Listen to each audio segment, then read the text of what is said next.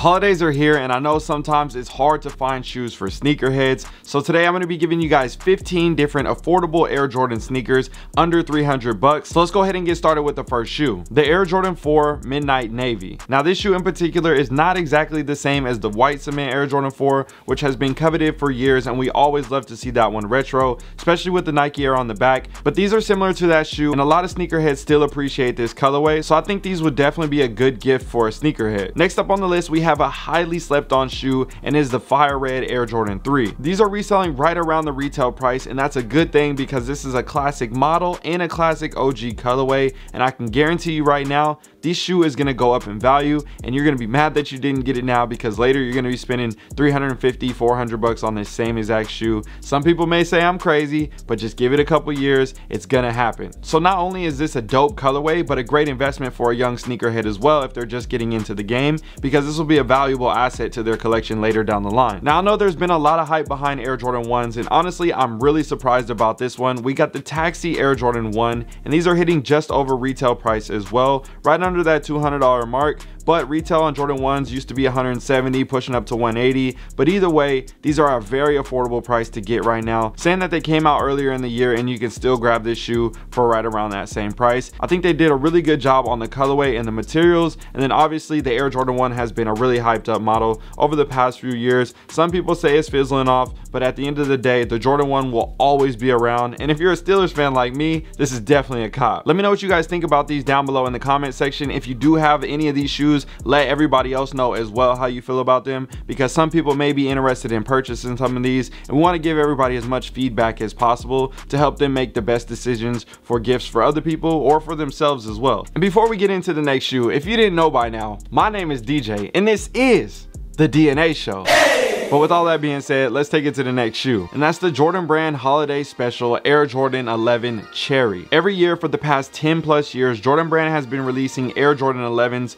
to the public during the Christmas time in December. And that's become the new holiday sneaker that everybody goes after each and every year. So the shoe hasn't come out yet, but right now the resale market, if you want to get it early or lock in a pair, you can find these for under 300 bucks or you can try to be patient and get the shoe for the retail price which I will be making a video on how to cop this shoe for retail. But that's gonna be around that 200 220 dollar mark. I don't know the exact retail price I still gotta look it up.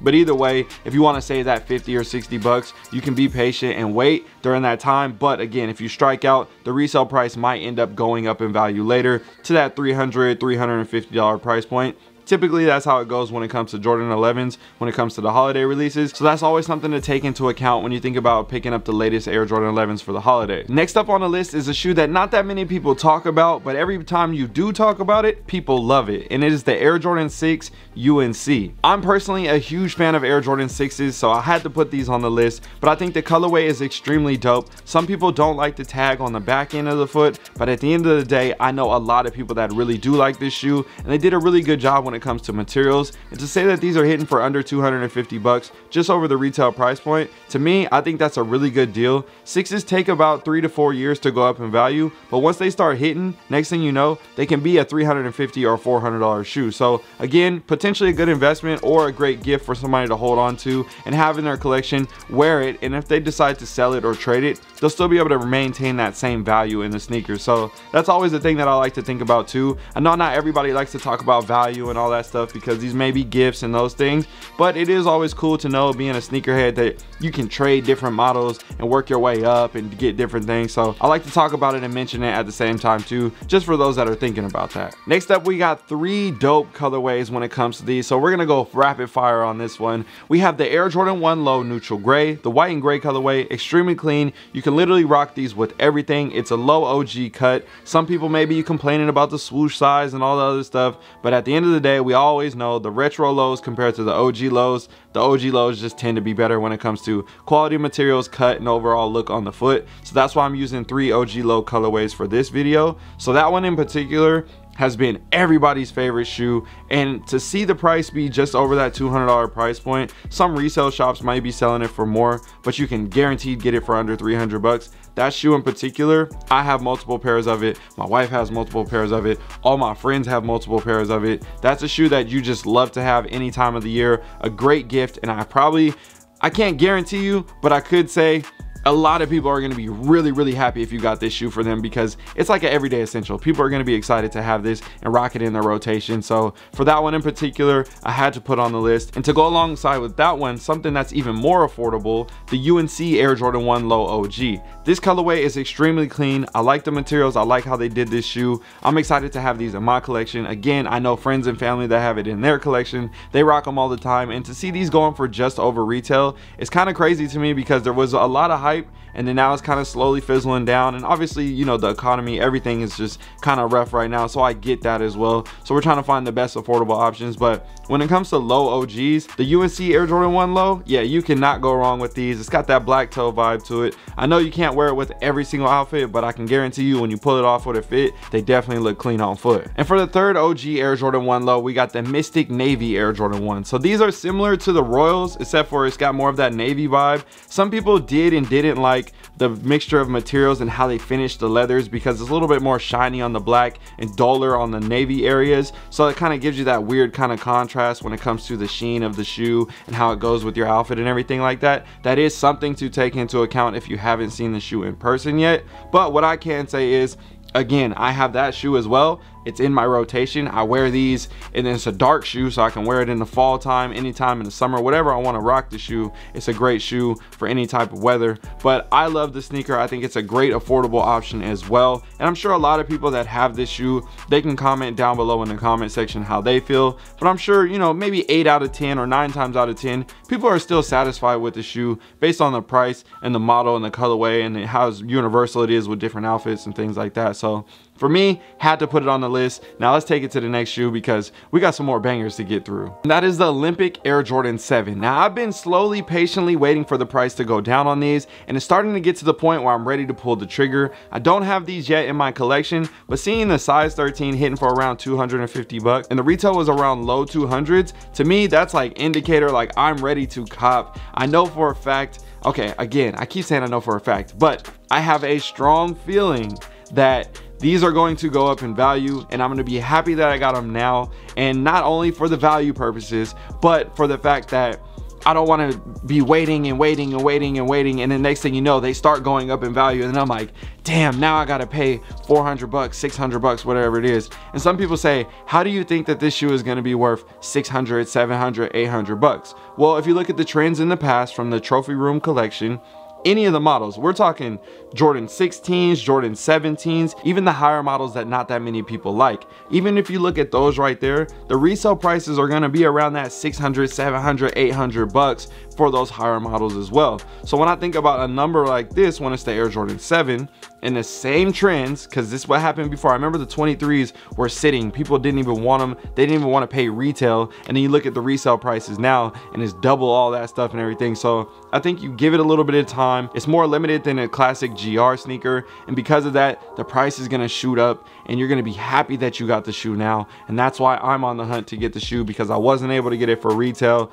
But for it to hit just a little bit over retail, definitely a sneaker that I plan on adding to my collection in the next couple weeks. So stay tuned for that because I will be getting those and you know I'm to be making a review for you guys as well. But anyways, I think that's a great pickup, a great addition for your collection or a great gift for somebody. Getting something that's a little bit more different, a little bit more exclusive. You know what I'm saying? You don't want to have something that's like everybody got this type of shoe. So I think for the switch up and something like that, and if you think this is a good model that fits for somebody as a gift, I think this is a great option for this price. Speaking of another great option, when it comes to materials, this next one right here is a great shoe. We got the UNC to Chicago Women's Air Jordan 1. Now these came out in extended sizes and I do have these in my collection. So they did make a 14 and a half in women's to fit me in a size 13. This was an extended size run. So that means a lot of people can purchase this shoe and a lot of people slept on this shoe. But I'm telling you right now, and again, you can ask people in the comment section, the materials on this shoe, they did a really, really good job. And to see these hidden for just around 200, 250 bucks, I think is a great affordable option anybody that has this shoe is going to be excited about it. They're going to love it as soon as they get the shoe in hand because i'm telling you the materials are nice. I think this colorway is extremely dope. Again you can't wear this with every single thing but as another gift for a sneakerhead i think they would appreciate it. So i figured we had to put these on the list. Now if you're looking for something that's a little bit cheaper or something that you could find in a retail store you have the heritage air jordan 1 now the retail on these is 170 bucks but resale right now is around 140 to 150 bucks. So you might be able to find these on sale or you can just go the retail route. But if you went the retail route, you might be paying more money. So it all depends on where you find the shoe at and who you get it from. But at the end of the day, you can either get this shoe for retail or below retail. Some people love it, some people hate it. There was a lot of hype behind it until it came out. Next thing you know, the price prices plummeted. That's when the whole market of everything started to plummet. So it all kind of made sense. It aligned with that. But either way, if you think that somebody likes more of a brighter shoe like this with the more dominant white color on it, this would be a great option. Definitely when it comes to something that's around that $150 price point, and that's not even breaking into that 200 or $250 price point. Now, next up on the list, we have the Air Jordan 4 Infrared. So this shoe right here is very affordable when it comes to Jordan 4s, because if you look at all the 4s that are out right now that are coming out or that recently came out in the past, they're all at like 350, 400, 450, 500, 600. All those prices are extremely high. So it's slim pickings when it comes to Jordan 4s, but I think this infrared colorway, I don't think it's the best one ever, but at the same time, you can mix it with a lot of different outfits, and it's not like it looks like a terrible shoe. This is definitely a shoe that I wouldn't mind having in my collection, so I'll make sure I put it on the list. And again, there's a bunch of other shoes that we didn't get to put on the list, and I hope that you guys can put those down in the comment section as well for affordable options under 300 to help everybody else out. But either way, I think this is a really good shoe. Seeing these around 250 bucks when it comes to the resale. So if you want to add this to somebody's collection or get it for yourself, I think it's a good price point right now. And again, I think these could potentially go up to that 325 350 just a little bit more time from now maybe by next summer or something like that. Now next up right here we got the double whammy. We got the dj khaled air jordan 5s now we got the sail colorway and we got the crimson bliss. And honestly i was surprised by this. I didn't think they would go down to that 250 dollar price point hitting just over retail. We know the shoe recently came out and there was a lot of hype before it. We were seeing prices around $1,000 and different things like that. So I was like, okay, you know, maybe the shoe might be worth, you know, 350, 450, somewhere around there. And then in time, it could potentially go up. But we know it's an Air Jordan 5 and not everybody likes Air Jordan 5s, the way it may fit on the foot, how big the tongue is, different things like that the bubbles around the ankle, which I talked about before. The Khaled 5s don't have the bubbles around the ankle, so it does give it more of a sleek finish to the shoe around the ankle area. But again, the tongue is pretty large. I know it's not as padded as the other one is, so that does gives you, again, more of a sleek look. But again, it's still a bulky shoe, so I understand if some people don't like it. So maybe you should do a little bit of background research before you go and purchase this shoe for somebody. Now, I think they will like it either way because of the materials. They did a really, really good job on the materials. When you think of standard Air Jordan 5s and you think of a collaboration type shoe like this, typically when you see a collaboration, you're gonna see nicer materials on a shoe. If you wanna see a full review of the entire set of the purple, blue, sail, and crimson, I have that on my channel as well if you guys wanna check that out. But either way, they did a really good job on this shoe. I think it's well worth having in the collection. I'm glad to have these in my collection. I love the shoes. I think they did a really good job. I wouldn't say this is sneaker of the year or anything like that, but overall, I think it was a nice collaboration, especially with this being DJ Khaled's first collaboration that actually came out to the public. Now, next up right here, we have the Air Jordan 1 High OG Rebellionaire. Now, there was a lot of hype behind this and we thought like, yo, this might be a thousand dollar shoe, 800 bucks, something like that. And then the price just kept going down. It's finally starting to settle. So right now you're gonna be able to find these for 275, 300, 325, depending on who you're buying from, 250. You know, it all may vary depending on sizing and different things like that. But the Rebellionaire I think is another great option. Again, I have these in my collection. I love the shoe. I think they did a really good job on these. And I'm interested to see uh, what happens with this shoe in the future. I think everybody that has the shoe likes the shoe and not that many people bought it if they didn't like it. And some people aren't really like investing into this shoe and different things like that. So I think if you find that somebody actually likes this sneaker I think this would be a really good gift for them. Because again not every single sneaker is about investing into it and all the other things. It's simply like at the end of the day buy what you like or get what you think somebody may like because this is a gift video. But either way I think that this is a great shoe uh, for the people that do like it. So if you like these, definitely a cop. If you don't like them pass up on them i can completely understand. It's got a lot of stuff going on on the sneaker and again i've done a full review on these in the past as well if you want to see more details or more storytelling about this sneaker. So i'm interested to see what you guys think. Hopefully this was helpful. If you guys want to see any other videos like this let me know down below in the comment section and happy holidays. I'll see you on another one. All right y'all i'm out Yo, before you go, I just launched my Sneakerhead Academy where we got everything on the inside. I teach you all the stuff that I learned over the past 15 years when it comes to sneakers, scaling, real estate, you name it. We talk about all of it in there. And there's an eight week program plus a bunch of monthly giveaways. I give away shoes literally way too much, honestly. But either way, I'll see you guys on the inside. Hit the link down below in my description or pinned in the comment section for DJ Sneakerhead Academy. And I'll see you guys over there.